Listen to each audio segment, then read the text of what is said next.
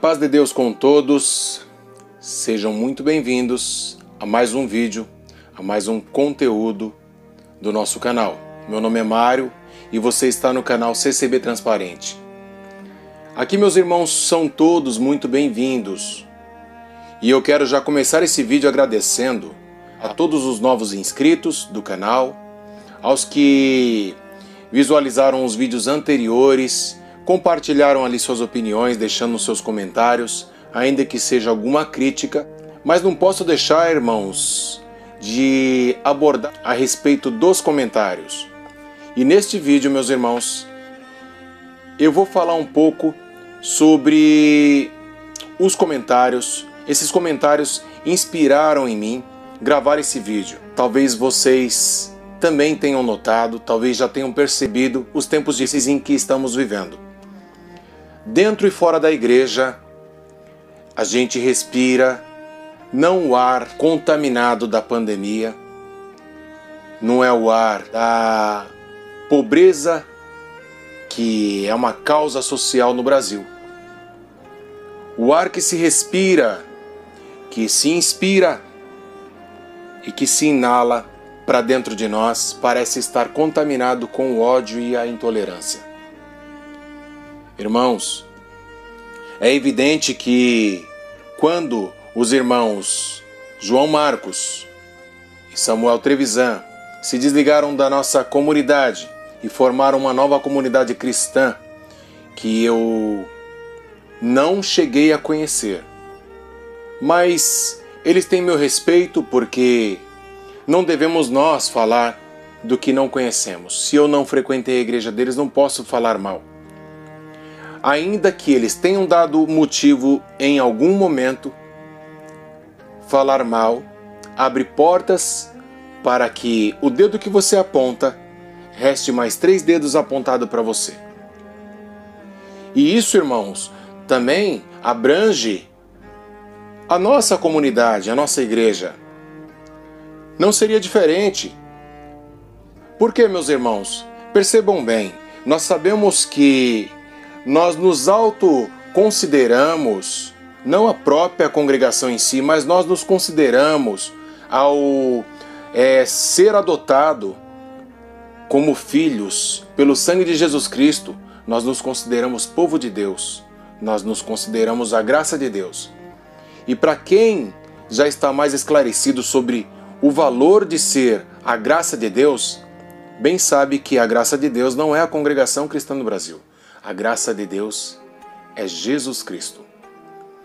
E isso ultimamente tem sido tão claro e tão notório que nossos irmãos anciãos que assumiram os cultos online e que têm passado, usado os minutos de testemunhança para passar conselhos.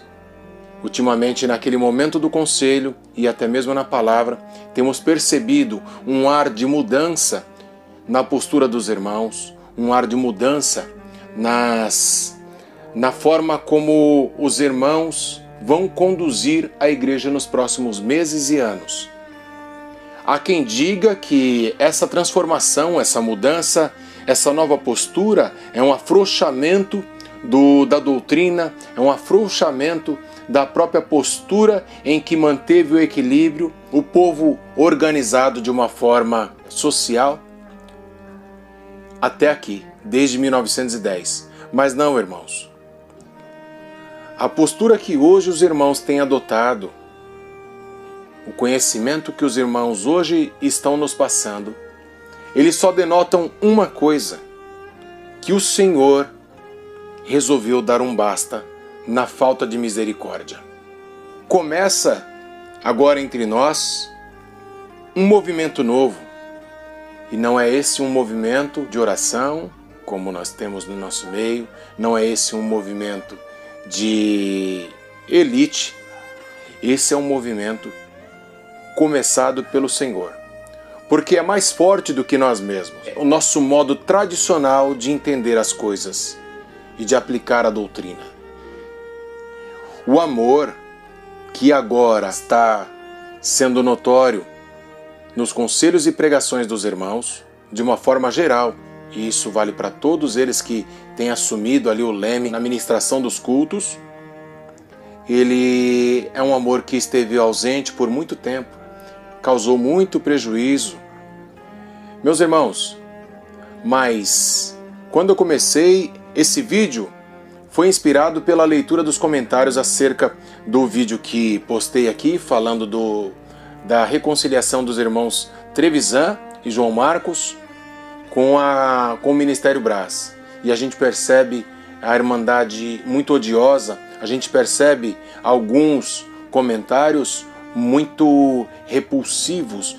Vejamos bem, quando nós rejeitamos e adotamos essa postura de intolerância, de falta de misericórdia, em nada nos diferenciamos dos irmãos que nós é, insinuamos que cometeram erros por tanto tempo, não tendo misericórdia e se apiedando de alguns. Muitos postam em mensagens prontas de WhatsApp que Deus está no controle.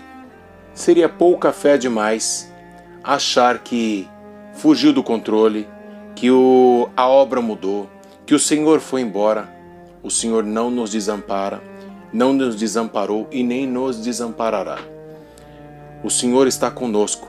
Se você, irmão, não consegue mais sentir o Senhor por causa desse evento ou daquele evento, por causa de problemas é, como o dessa enfermidade terrível que está aí, ou problemas internos da nossa comunidade evangélica, se isso já te afeta a ponto de você achar, de você achar que as coisas perderam controle, é porque está faltando fé, está faltando oração, está faltando ler as escrituras para encontrar com o Senhor novamente.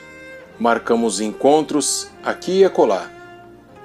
E não faltamos a esses encontros porque consideramos prioritários e importantes para a nossa vida mas vamos nos distanciando do encontro que tivemos com o Senhor no passado, quando nos converteu a esse chamado, a esse caminho.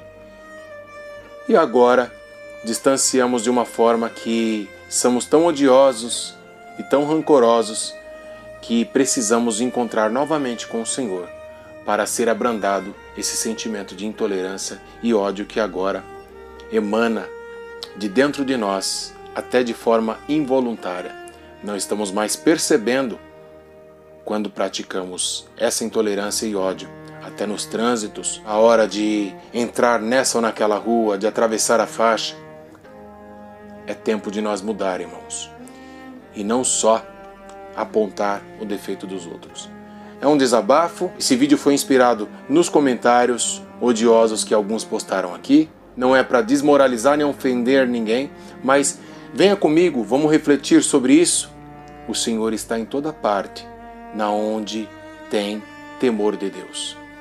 Irmãos, eu agradeço a todos que estão aqui. Se inscrevam no canal, dê sugestões de novos vídeos, tá? A gente vai procurar com carinho analisar as mensagens e postar novos conteúdos para a Irmandade. Fiquem com Deus e até o próximo vídeo.